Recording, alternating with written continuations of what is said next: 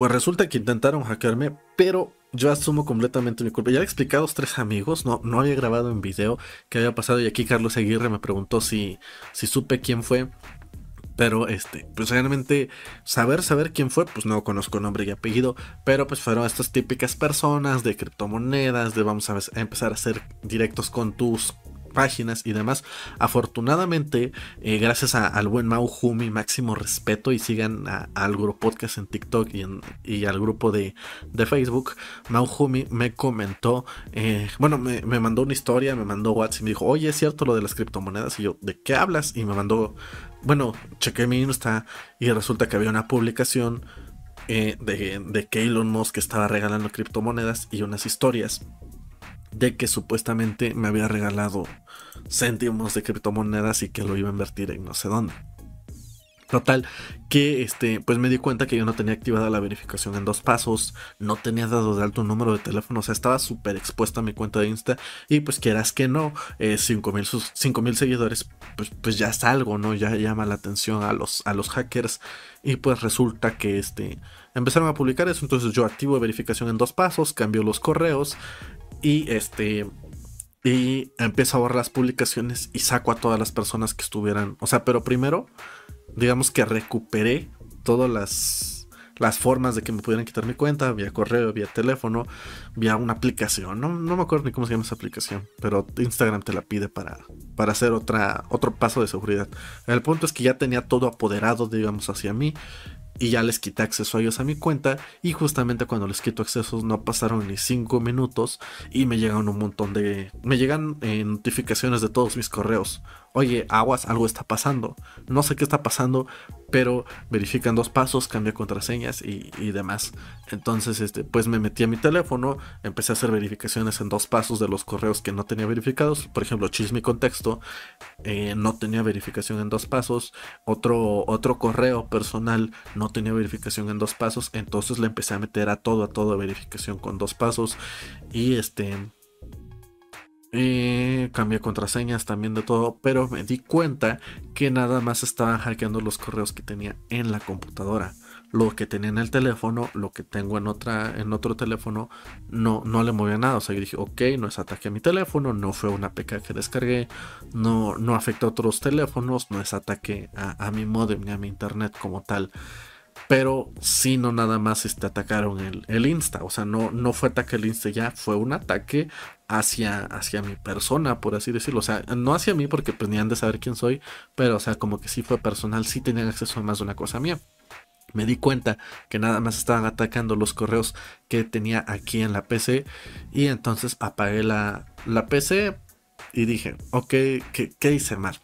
Vamos a, contar que hice mal y sobre todo es para que todos ustedes tengan cuidado. Acepto completamente que fue eh, culpa mía, me expuse de más. Y este, y vamos, vamos a, en resumidas cuentas, hace tiempo yo estaba descargando el Pro Tools, que es un programa muy muy chido para edición de, de audio, pero eh, los, los plugins, si no los compras, son muy difíciles de conseguir. O sea, aquí no, no nos vamos a, a sordear con que, ah, yo pago todo. No, no se puede, no se puede. Entonces, este. Empecé a. O sea, estaba descargando Pro Tools, me metí a diferentes páginas para conseguir los plugins, los complementos que yo quería para este. Para, para hacer mis composiciones musicales, mis intentos de composiciones musicales. Y este. Y en alguna. En la página principal me decía, vete a este link y la contraseña es 123 del RAR ok, perfecto. Él típico 40 pestañas de publicidad para llegar al link de, de, alguna plataforma de Mediafire o de Mega, de alguna nube. Pero en el proceso se me descargó un RAR que se llamaba contraseña 123. Y entonces dije, ¿será ese? Dije, pues ha de ser ese. Y le doy, eh, abro el RAR, lo saco, me pide contraseña, pongo 123 y me aparece Your Program, tu programa en inglés, ¿no? Y dije, ah, pues está raro, pero entiendo que, que, a veces quieren evitar que les tomen los, los plugins, porque sí, sobre todo los plugins de, de música son muy recelados, sí son muy, en cuanto lo subes te lo tumban. Entonces dije, ah, pues le pusieron Your Program porque no quieren que este... que, que, lo detecta algún algoritmo, pues que está subiendo ese plugin y lo instale y no pasó nada. Y yo dije, oh, no, no era eso. Y ya seguí las, las pestañas de, de, instalación y ya di con, con el programa, bueno, con el plugin que yo quería instalar, pero dije, ya le instalé algo a mi compu que no es. Bueno, ojalá no pase a mayores. Eso fue hace como dos semanas, ¿ok? Y, y, ahí pudo haber quedado la cosa, simple, sencillo, ahí pudo haber quedado todo.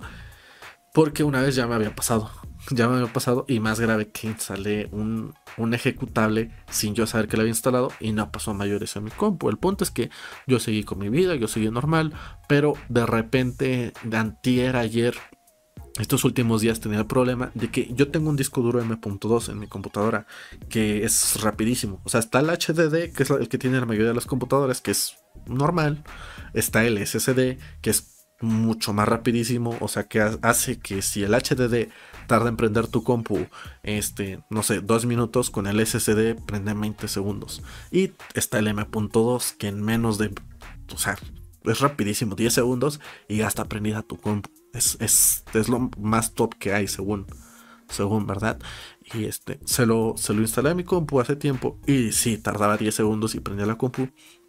Pero últimamente estaba tardando alrededor de unos, que será? Unos fácil 2-3 minutos, como un HDD normal.